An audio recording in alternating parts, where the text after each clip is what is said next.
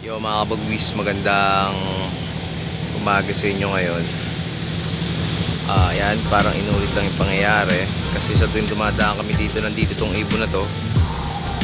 Malaking uri ng ibon. Ayan siya mga kabagwis.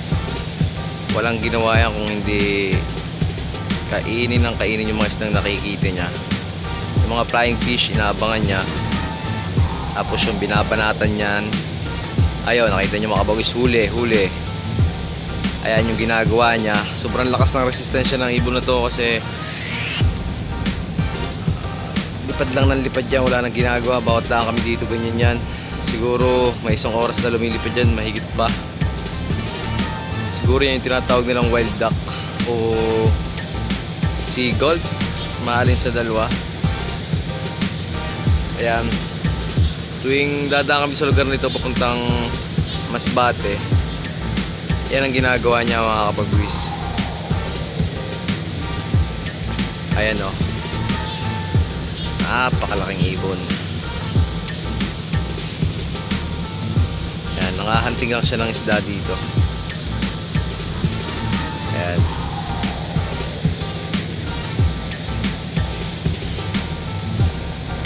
Yung mata niyan eh nakalagay dun sa kanyang tuka kakaiba yung itsura niya mukhang hindi pa pahuli ng buhay. Ayan siya mga pagwis ayan ang laki niya ayan ayan. Sisisid na ulit yan oh. oy sablay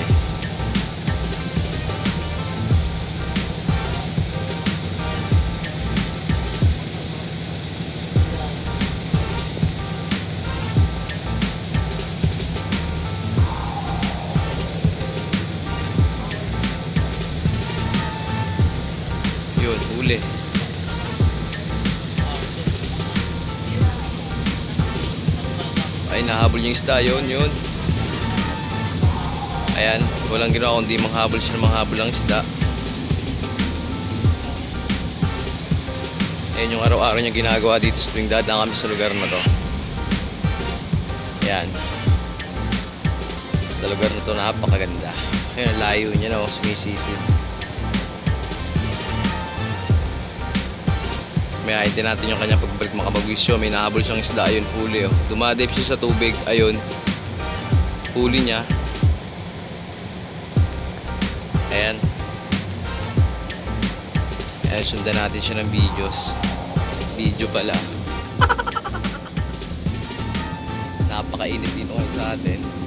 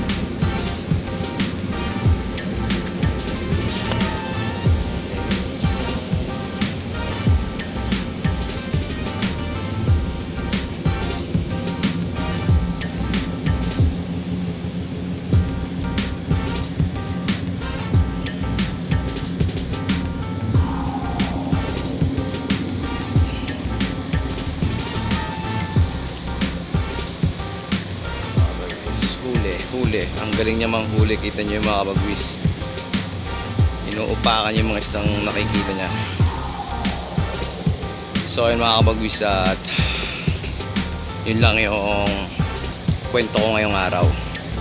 Ayun, maraming maraming salamat sa inyo.